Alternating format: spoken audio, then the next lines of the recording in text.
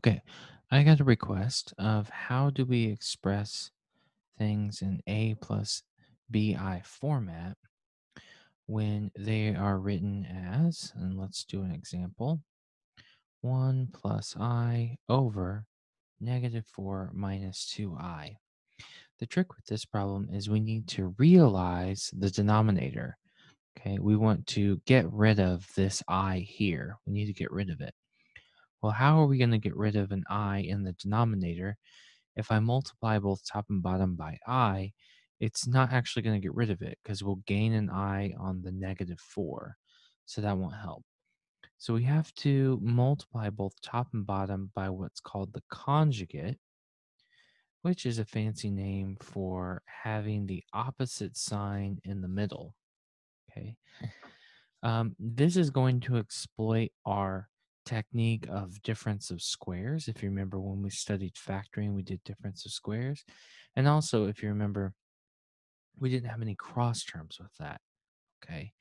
Now, with this, uh, just just so it's clear, I'm actually multiplying it by 1. I have something over itself. Now, this is a binomial over itself, which is still 1.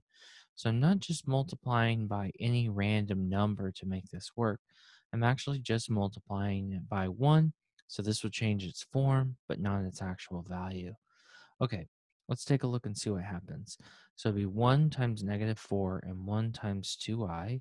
So I have negative 4 plus 2i.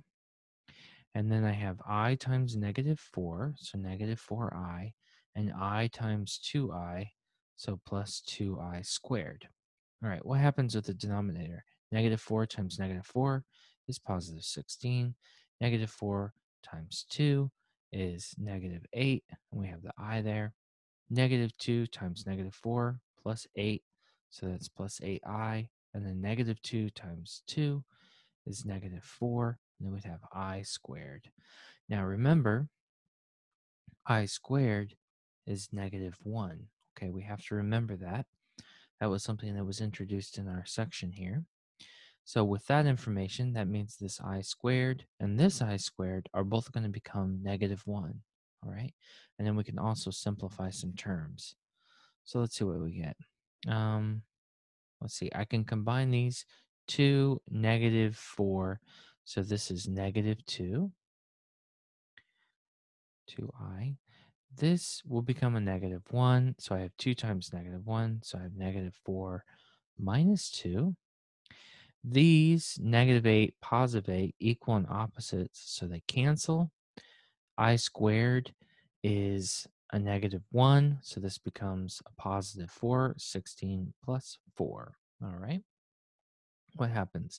Negative 4 minus 2 equals negative 6 minus 2i. 16 plus 4 makes 20. All right, almost done. I'm going to simplify just a little bit more.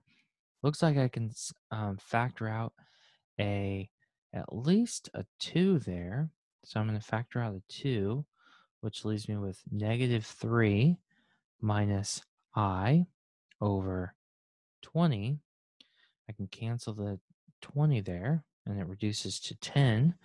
So this is going to leave me negative 3 tenths minus 1 tenth i.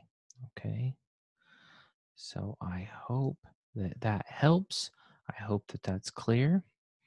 And let me know if you have any further questions.